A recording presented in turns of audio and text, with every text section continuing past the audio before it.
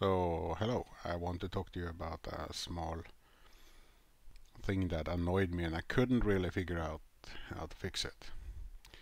Um, so here I have a model and the point with this was to uh, uh, bend the corners here and there. And uh, when I did the bend I had created it into a flange um, using this. And uh, I can bend the corners. But when I bend the corners the surface I bend from is still there. So originally when you bend the corner using the bend command in Fusion 360 it should sort of also flip the wall itself. So I can show you here. If I go and make a, a bend and then select this as the stationary side and let's say I want to bend it by this line here. There's two lines here. Let's say I just want to bend it by this line. So you see this is the bended part. And then you have the original wall here still. And uh, it doesn't matter if I flip it to the other side it still shows the original wall. And as you can see here it's just one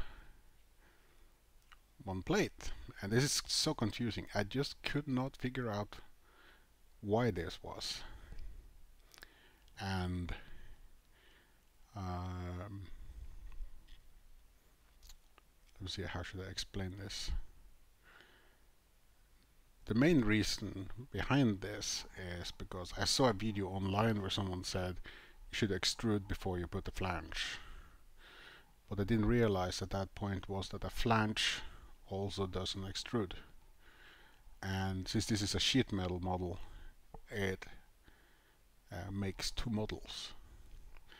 So if you see here, I have an extrude and then I have a flange. As it stands now, both of these are minus one millimeter thick so the so so they go in the opposite direction. Uh, I didn't realize this until I noticed like now you can see that it's just the same width but when I realized the error or or the cause of it I was puzzled because um, when I was using Onshape uh, and I tried to do ex uh, extrudes, I ended up with several layers.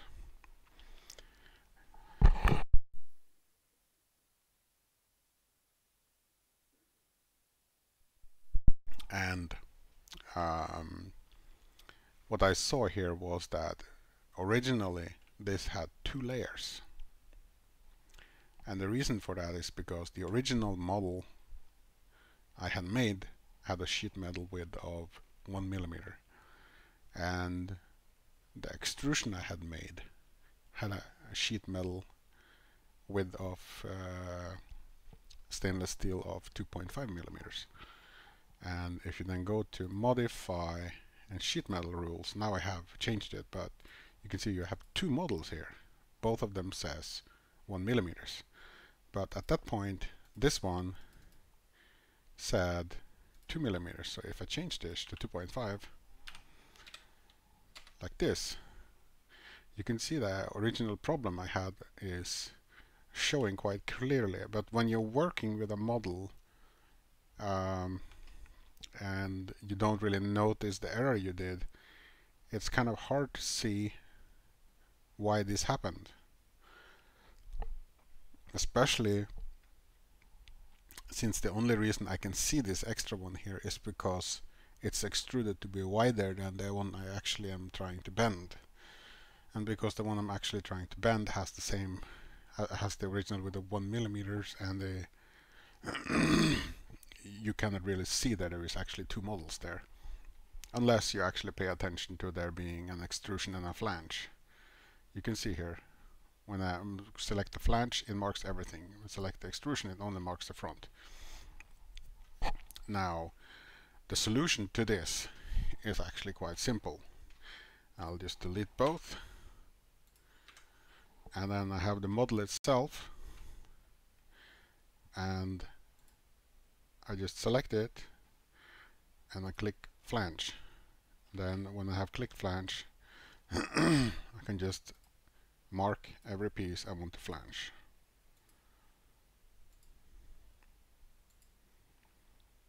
And the middle section so now all the pieces are marked and you can see that you get like an extrusion uh, that shows that's going to happen. So I'm going to change to have the model on this side and then make it as a new body. And now you can see it's showing as 2.5 but it's actually just one model. Uh, but the reason it says 2 here is because I have the it's it's actually the the, the flange that's 2.5 millimeters that's why it shows so wide so I'm gonna go and I'm gonna modify the sheet metal rules for this one and change that to 1 millimeters. Now you can see it has the correct width and because I don't have an extrusion here now if I try to bend it I select the midpoint here like the middle big section and it will automatically notice that this is the stationary place and everything on this side will be the place I want to bend. So I click here, everything seems to be selected, but now it's in uh, select the thing to bend mode. So I can go here and you see if I hold the mouse over here, it will uh, bend when I hold the line there, or here. So I'm going to try and just click there.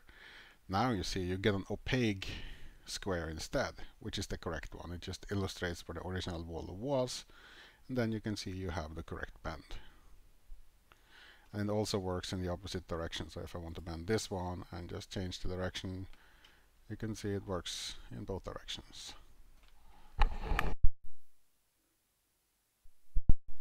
so if you ever get one of these models where you have an extra wall usually it means that you have a second sheet metal model in in the background so sort of overlaps. So uh, like with an extrusion and you're trying to bend the flange.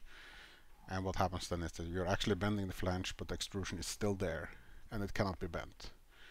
So you have to remove the extrusion and just create a flange which also do the extrude for the flange in itself in the operation. So I hope that can help someone to uh, easier notice what was wrong.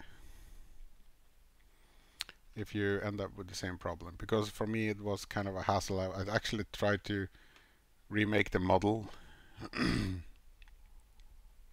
Uh, as you can see on the on the sketch. Let me see edit sketch you can see none of these are constraints because for some reason I cannot make this one constrained I've, you can see i I got a lot of stuff here and I like put all the sides to have dimensions and everything, but it just doesn't constrain at all, which is kind of weird. And I cannot move corners or anything. See, try to move the corners, doesn't work. Ah, there it actually moves the corner.